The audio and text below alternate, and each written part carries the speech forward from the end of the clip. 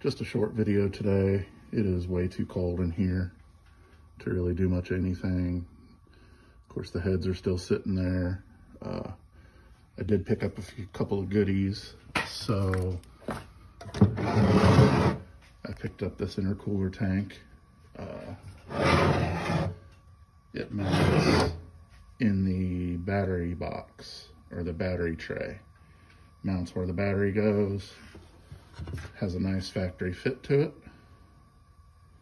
So that'll be a nice new addition. And I picked that up for 50 bucks off of Facebook Marketplace. So jumped on that. Uh, the other thing I picked up was a Metco pulley.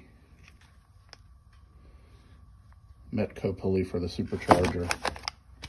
Uh, got a pretty good deal on that too. I picked that up for 50 bucks. So, you know, if you shop around and piece together, uh, you can pick some of this stuff up for a really good deal. Sorry about the camera work or lack thereof. Uh, that's going to be it for tonight. Just wanted to show you guys a couple of things. Um, like I said, it's way too cold in here to do much.